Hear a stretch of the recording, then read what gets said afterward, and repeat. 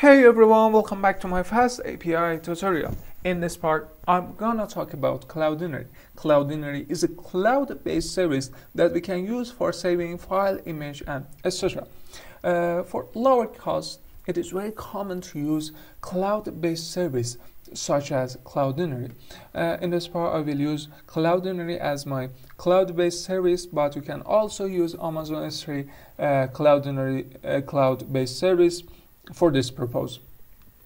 Before starting this part, I would remember that uh, you can uh, find file of this part from my fast uh, from my fast API tutorial repository.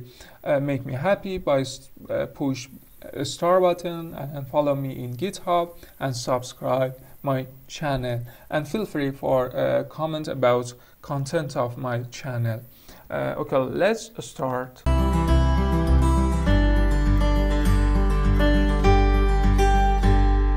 Okay, first of all, we should sign up in Cloudinary website. For doing this, uh, we should fill out uh, this uh, form and push create account. Uh, okay, I pause videos for a while for creating account. I'm back. Now you can find cloud name, API key, API secret from your account detail in your dashboard. We use this uh, three different variable for configure our uh, Cloudinary account in Fast API project. Uh, now uh, in our project we will go to database, configure our Cloudinary account. For doing this we use three different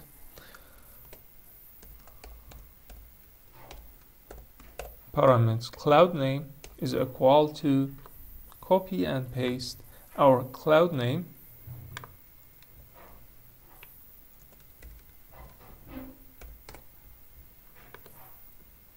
API.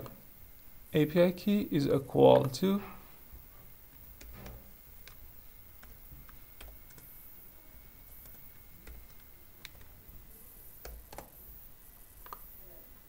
and API secret is equal to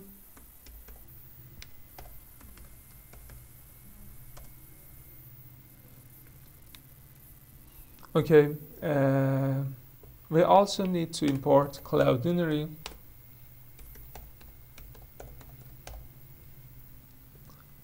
and now we install Cloudinary in our virtual environment. First activate our virtual environment.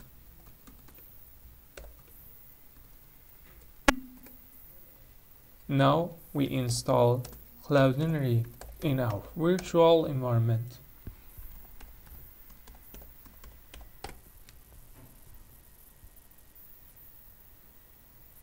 Wait some minute some second. And now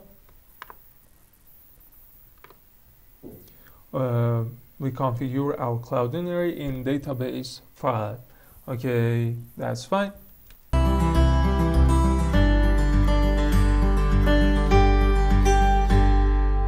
We should also change creating post API and replace uh, saving file method. For doing this, first we import Cloudinary and Cloudinary uploader.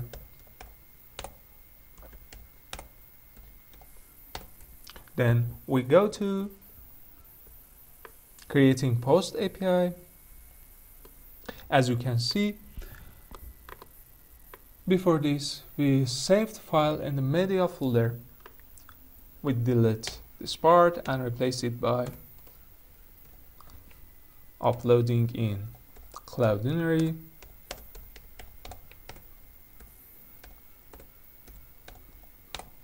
After uploading, file in Cloudinary, we should get URL from Cloudinary. Then we get URL from Cloudinary. And that's fine.